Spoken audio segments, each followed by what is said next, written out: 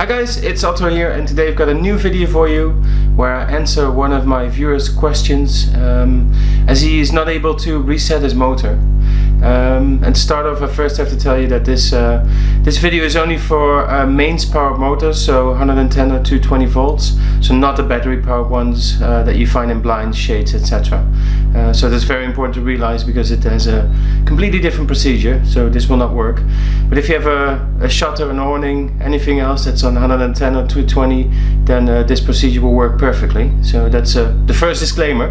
Um, now to the question what the um, what the problem is is that when the reset procedure is done um, after you put the power back on so you have this 383 um, operation but after the first three seconds that you take the power off um, what happens is, is that the motor moves up and down um, which looks like this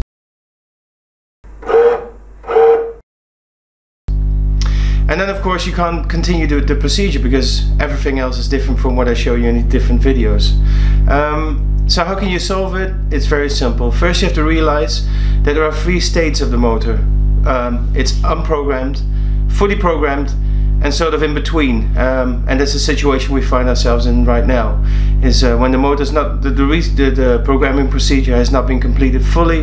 Um, what the motor will do is when you do this uh, 383 sequence, after three seconds when you power it on, it will jog shortly. Uh, and that's a clear indication of a, a, motor that's not been fully programmed or where the procedure hasn't been completed. So the way to solve it is to put the motor back onto power.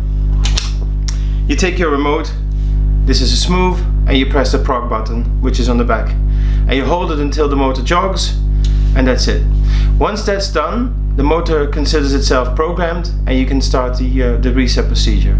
So that's, uh, that's how to solve it. It's very easy, but you have to know what to do. Um, and often this is not indicated in any of, uh, any of the documentation. So it's, uh, it's not the easiest one to solve in terms of finding the info, but now that you know, um, hopefully you can, uh, you can get further with the, uh, the programming and the resetting and getting your screen, shutter or whatever else you're using back operational. If you have any questions, let me know. Uh, links are in the description. I try to answer to most of the, uh, the questions. Um, so let me know what you need and uh, I'll gladly help you. Thank you and bye.